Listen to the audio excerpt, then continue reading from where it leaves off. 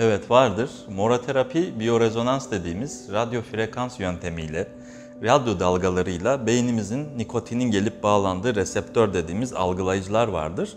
Nikotin kanla birlikte gelip buraya bağlanır. Moroterapi yöntemiyle bu reseptörleri biz bir sinyal göndererek kapatırız. Ondan sonra nikotinin bağlanmasını ve nikotine olan ihtiyacı azaltırız. Dolayısıyla bağımlılık bitmiş olur.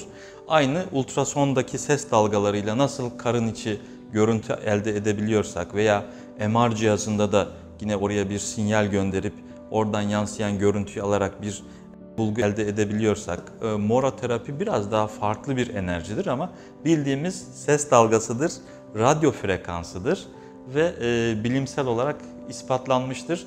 Yurt dışında özellikle Almanya'da ki tedavi yöntemi şu anda Almanya ve Rusya'da ön planda görünmekte.